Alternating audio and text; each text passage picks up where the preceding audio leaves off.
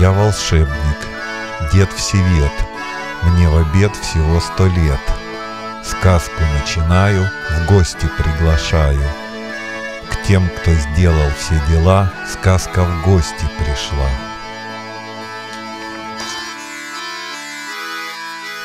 Ведьма и солнцева сестра.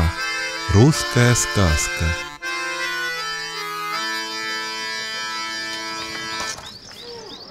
В некотором царстве, далеком государстве, жил-был царь с царицей. У них был сын Иван-царевич, сроду немой. Было ему лет двенадцать. И пошел он раз в конюшню к любимому своему конюху. Конюх этот сказывал ему всегда сказки, и теперь Иван-царевич пришел послушать от него сказочки. Да не то услышал. «Иван-царевич», — сказал конюх, — «у твоей матери скоро родится дочь, а тебе сестра. Будет она страшная ведьма, съест и отца, и мать, и всех подначальных людей. Так ступай, попроси у отца, что не есть наилучшего коня, будто покататься, и поезжай отсюда, куда глаза глядят, коли хочешь от беды избавиться. Иван-царевич прибежал к отцу и сроду впервой заговорил с ним. Царь так этому возрадовался, что не стал и спрашивать, зачем ему добрый конь надобен. Тотчас приказал, что не есть наилучшего коня из своих табунов оседлать для царевича. Долго-долго он ехал, наезжает на двух старых швей и просит, чтобы они взяли его с собой жить. Старухи сказали, «Мы бы рады тебя взять, Иван-царевич, да нам уж немного жить. Вот доломаем сундук иголок, да и зашьем сундук ниток, тотчас и смерть придет». Иван-царевич заплакал и поехал дальше. Долго-долго ехал, подъезжает к вертодубу и просит «Прими меня к себе». «Рад бы тебя принять, Иван-царевич, да мне жить остается немного. Вот как повыдерну все эти дубы с кореньями, тотчас и смерть моя». Пуще прежнего заплакал царевич и поехал все дальше да дальше. Подъезжает к Вертогору, стал его просить, а он в ответ «Рад бы тебя принять, Иван-царевич, да мне самому жить немного. Видишь, поставлен я горы ворочить. Как справлюсь с этими последними, тут и смерть моя. Залился Иван-царевич горькими слезами и поехал еще дальше. Долго-долго ехал. Приезжает, наконец, к солнцевой сестрице. Она его приняла к себе, кормила, поила, как за родным сыном ходила. Хорошо бы жить царевичу, а все нет-нет, да и сгрустнется. Захочется узнать, что в родном дому деется. Взойдет, бывало, на высокую гору, посмотрит на свой дворец и видит, что все съедено, только стены остались. Вздохнет и заплачет.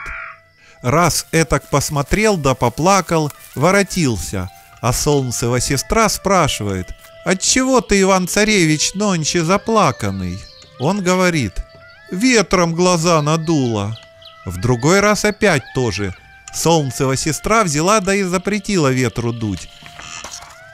И в третий раз воротился Иван-царевич заплаканный. Да уж делать нечего. Пришлось во всем признаться. И стал он просить Солнцеву сестру, чтобы отпустила его, добромолодца, на родину понаведаться. Она его не пускает, а он ее упрашивает – Наконец упросил таки, отпустила его на родину понаведаться и дала ему в дорогу щетку, гребенку да два моложавых яблочка. Какой бы ни был стар человек, а съест яблочко, в миг помолодеет. Приехал Иван-царевич к Вертогору, всего одна гора осталась. Он взял свою щетку и бросил в чисто поле, Откуда ни взялись, вдруг выросли из земли высокие-высокие горы, верхушками в небо упираются, и сколько тут их, видимо-невидимо. Вертогор обрадовался и весело принялся за работу. Долго ли, коротко ли, приехал Иван-царевич к Вертодубу. Всего три дуба осталось. Он взял гребенку и кинул в очисто поле. Откуда что? Вдруг зашумели, поднялись из земли густые дубовые леса. Дерево дерево толще. Вертодуб обрадовался, благодарствовал царевичу и пошел столетние дубы выворачивать. Долго ли, коротко ли, приехал Иван-царевич к старухам, дал им по яблочку, они съели, в миг помолодели и подарили ему платочек. Как махнешь платочком, станет позади целое озеро. Приезжает Иван-царевич домой. Сестра выбежала, встретила его, приголубила. «Сядь, — говорит, — братец, поиграй на гуслях, а я пойду обед приготовлю». Царевич сел и бренчит на гуслях. Выполз из норы мышонок и говорит ему человеческим голосом. «Спасайся, царевич, беги скорей, твоя сестра ушла зубы точить». Иван-царевич вышел из горницы, сел на коня и поскакал назад. А мышонок по струнам бегает, гусли бренчат, а сестра и не ведает, что братец ушел. Наточила зубы, бросилась в горницу, глядь, нет ни души, только мышонок в нору скользнул. Разозлилась ведьма, так и скрипит зубами, и пустилась в погоню. Иван-царевич услыхал шум, оглянулся. Вот-вот нагонит сестра. Махнул платочком, и стало глубокое озеро.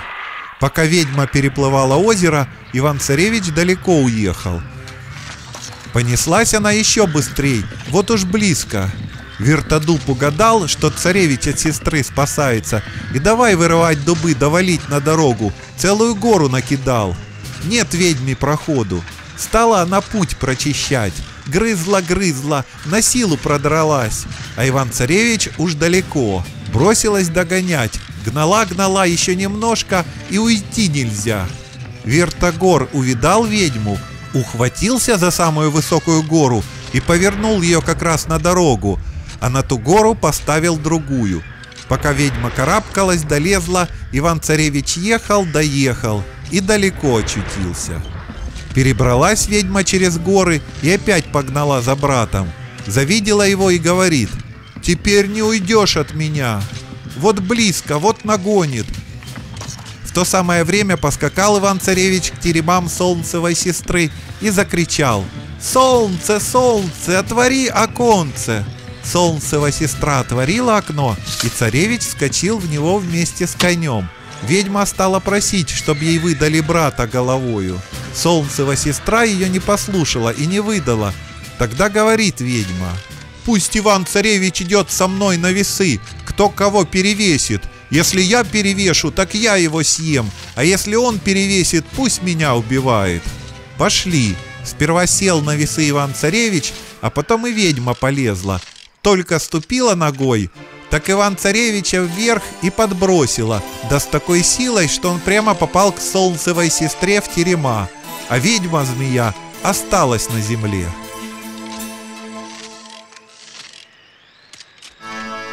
Вот и сказочки конец, а кто слушал, молодец.